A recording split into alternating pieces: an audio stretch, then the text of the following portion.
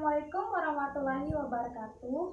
Perkenalkan nama saya Hardianti Ningsih, NIM E1E019137 dari kelas 3D Program Studi Pendidikan Guru Sekolah Dasar Fakultas Keguruan dan Ilmu Pendidikan Universitas Mataram. Di sini saya akan menjelaskan tentang perencanaan pendidikan di sekolah dasar Nusa Tenggara Barat pada abad 21.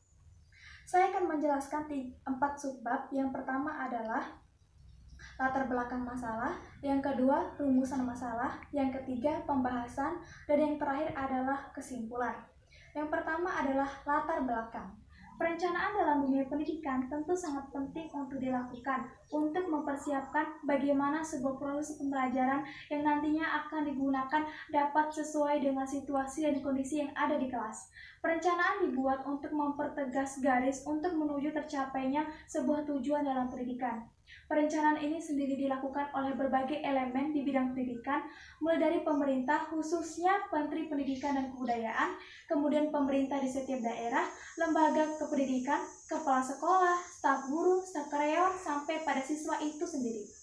Menentukan kebijakan, prioritas, kebutuhan, biaya dalam proses pendidikan tentu dibutuhkan analisis yang rasional dan sistematik agar dapat memaksimalkan efisiensi dan efektivitas pencapaian tujuan tersebut. Maka tidak dapat dipungkiri jika perencanaan pendidikan ini sangat penting dan merupakan dasar dari sebuah proses di bidang pendidikan. Kedua adalah rumusan masalah. Rumusan masalah dari latar belakang yang saya jelaskan barusan adalah yang pertama, apa yang dimaksud dengan perencanaan pendidikan dan bagaimana posisi penting perencanaan pendidikan itu. Yang kedua adalah bagaimana perencanaan pendidikan di Nusa Tenggara Barat, khususnya di sekolah dasar. Yang ketiga, bagaimana perencanaan pendidikan di abad 21.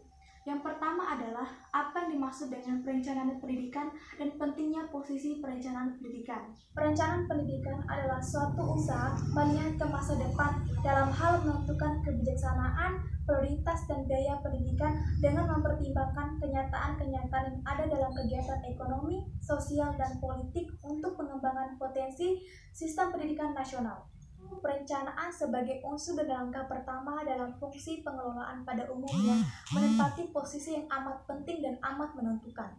Melalui perencanaan akan lebih terjamin adanya penghematan waktu, biaya, dan pemakaian sumber daya secara lebih bermanfaat. Pentingnya perencanaan pendidikan di Indonesia ditandai dengan adanya desakan masalah dalam berbagai aspek yang suka atau tidak harus ditangani melalui perencanaan. Tanpa perencanaan maka banyak masalah pendidikan yang akan tertunda penanganannya. Rumusan masalah yang kedua adalah bagaimana perencanaan pendidikan di Nusa Tenggara Barat. BP PAUD dan Dikmas NTB sebagai UPT dari Kemendikbud dalam menyusun Renstra 2020 sampai 2024 berpedoman pada rencana strategis Kemendikbud tahun 2020-2024 yang berfokus pada kebijakan Merdeka Belajar sebagai pedoman bagi pembangunan sumber daya manusia dalam menata dan memaksimalkan bonus demografi yang menjadi kunci tercapainya bangsa maju yang berkeadilan sosial seperti yang dicita-citakan oleh para pendiri bangsa. Kebijakan Merdeka Belajar dapat terwujud secara optimal melalui yang pertama, peningkatan kompetensi kepemimpinan, kolaborasi antar elemen masyarakat dan budaya. Yang kedua, peningkatan infrastruktur serta pemanfaatan teknologi di seluruh satuan pendidikan. Yang ketiga, perbaikan pada kebijakan, prosedur dan pendanaan pendidikan dan penyempurnaan kurikulum pedagogi dan asesmen.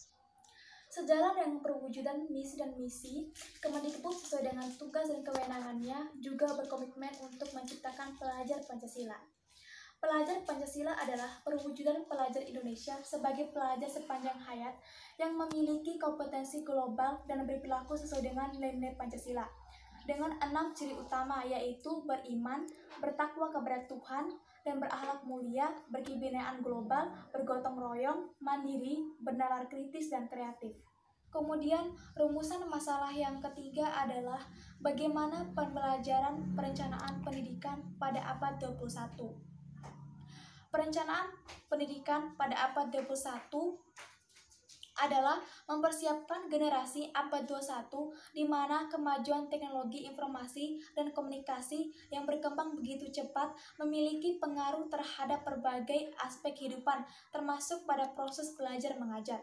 Salah satu contoh kemajuan teknologi informasi dan komunikasi memiliki pengaruh terhadap proses pembelajaran ialah peserta didik diberi kesempatan dan dituntut untuk mampu mengembangkan kecepat kecakapannya dalam menguasai teknologi, informasi dan komunikasi, khususnya komputer, sehingga peserta didik memiliki kemampuan dalam menggunakan teknologi pada proses pembelajaran yang bertujuan untuk mencapai kecakapan kecakapan berpikir, berpikir dan belajar peserta didik. Perencanaan pendidikan pada abad 21 lebih berpusat pada peserta didik. Adapun karakter perencanaan pendidikan pada abad 21 yang pertama adalah komunikasi. Pada karakter ini, peserta didik dituntut untuk memahami, mengelola, dan menciptakan komunikasi yang efektif dengan dalam berbagai bentuk dari isi secara lisan, tulisan, dan multimedia. Peserta didik diberikan kesempatan menggunakan kemampuannya untuk mengutarakan ide-idenya, baik itu pada saat berdiskusi dengan teman-temannya maupun ketika menyelesaikan masalah yang diberikan oleh pendidik. Yang kedua adalah kerjasama. Pada karakter ini, peserta didik menunjukkan kemampuannya dalam kerjasama berkelompok dan kepemimpinan, beradaptasi dalam berbagai peran dan tanggung jawab, bekerja secara produktif dengan yang lain, menempatkan empati pada tempatnya, serta menghormati perspektif yang berbeda. Yang ketiga adalah berpikir kritis dan pemecahan masalah.